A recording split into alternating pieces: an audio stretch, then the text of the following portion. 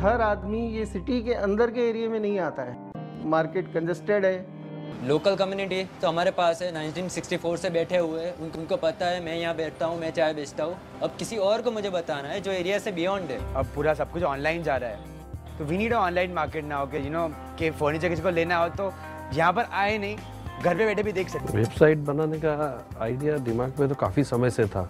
लेकिन कोई right channel नहीं मिल रहा था। मुझे राइट सर्विस वेबसाइट पे नहीं मिल रही थी कि कौन बना रहा है कौन नहीं बना रहा है किस तरीके से बना रहा है। बड़ा इजी हो गया काम। मतलब कोई भी अभी नया सोफा बनाया नया डिज़ाइन बनाया नया डिज़ाइन साइट पे डाल दिया। अगर वेबसाइट के थ्रू उनको ये एक मैसेज भी मिल जाए कि नहीं अच्छे व्यापारी सिटी के अंदर हैं तो कुछ भी नहीं तो वो हमें डायरेक्ट कांटेक्ट करेंगे। हमारा इंटरनेशनल कस्टमर है वो साइट पे जाके फैब्रिक चूज़ कर सकता है स्टाइल चूज़ कर सकता है। मिठाई वाले, पान वाले, टेंट वाले, सबकी साइटें हैं। फिर हम क्यों नहीं बनाएँगे? फिर कदम के साथ कदम तो मिलाना पड़ेगा ना।